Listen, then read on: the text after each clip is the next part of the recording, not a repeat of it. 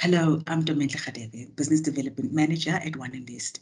This month, we uncover the merits of being invested in commodities and take a closer look at the One Invest Rhodium ETF. At One Invest, we have a comprehensive range of ETFs, commodity ETFs such as gold, palladium, platinum, and of course, rhodium. Commodities are ideal for portfolio diversification as they tend to have a low correlation to equities and bonds, which means movements in commodity prices tend not to be influenced by price movements in stocks or bonds. On the other hand, commodity prices tend to be more volatile, larger swings than other asset classes because they are determined by ever-changing supply and demand for the underlying metals, plus other micro and macroeconomic factors.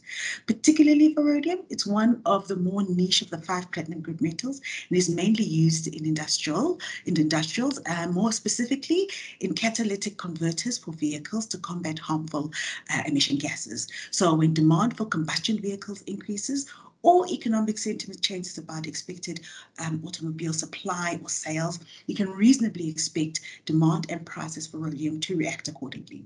Another important feature about commodities in general is that they act as a hedge against inflation. Since rhodium is an input in the manufacturing process of cars, as production prices of cars rise, the rhodium price is also expected to rise Further, there's another attractive element of commodities being a store of value through time, since a kilogram of rhodium today will still be a kilogram of rhodium in 10 years' time. So then why would an investor want to invest in a rhodium ETF rather than buying a share in the stock, in, in the company that mines the rhodium?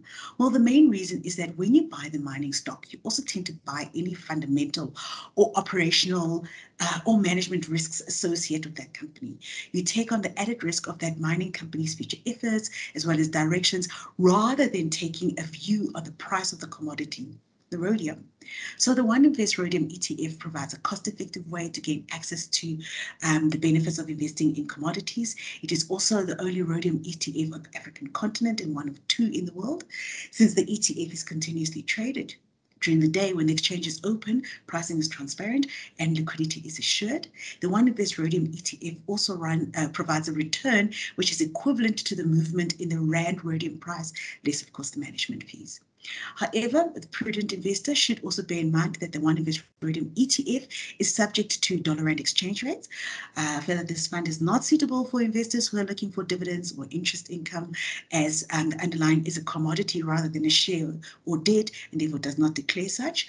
And investors should seek guidance from their financial advisors about how to include the One Invest um, Rhodium ETF in their retirement portfolios. Thank you so much.